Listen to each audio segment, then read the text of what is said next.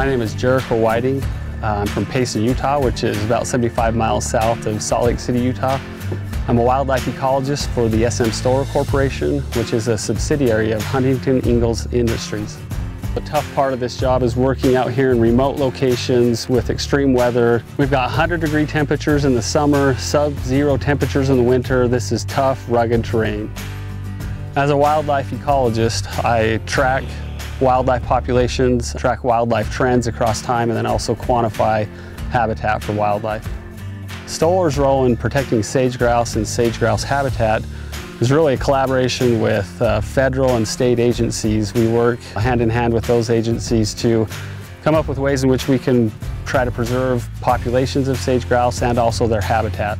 Sage grouse are a bird that occupies sagebrush steppe habitat. Uh, a lot of those habitats are being threatened and so the bird is being considered for listing under the Endangered Species Act. The main threat to sage grouse in Idaho is wildfire. Uh, sage grouse use sagebrush habitat for nesting, they eat sagebrush, so uh, a lot of the large-scale fires that are happening here in Idaho are threatening the bird and their habitat. The primary methods in which we use to track sage grouse are, first of all, observing birds at leks or communal breeding areas where we count the number of grouse. And then we also use radio collars and radio telemetry equipment in which we can track grouse and understand better their movements and habitat use.